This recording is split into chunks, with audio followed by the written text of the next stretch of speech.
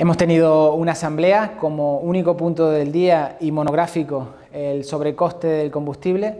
en las Islas Verdes principalmente, aunque también afecta en menor medida a Lanzarote y Fuerteventura y ha estado presente eh, los eh, quienes han hecho el estudio eh, de precios, el estudio del sobrecoste en estas, en estas islas y también la consejera de Economía. Hemos acordado trabajar en diferentes frentes,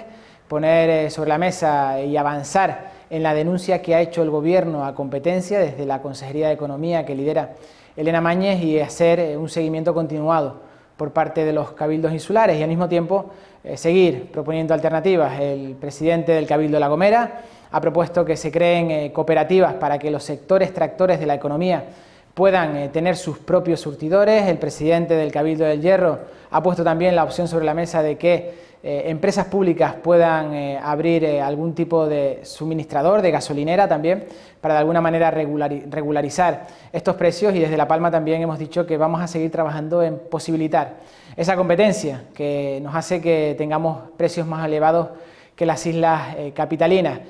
aquí ya hemos llevado a cabo en La Palma tres encuentros con dos posibles nuevos eh, suministradores en la isla y por supuesto el que ejerce el poder del mercado porque es el que tiene más eh, suministradores como es el caso de Edisa y vamos a seguir eh, empujando, trabajando para que a la mayor brevedad y en comisiones de trabajo con la FECAI, con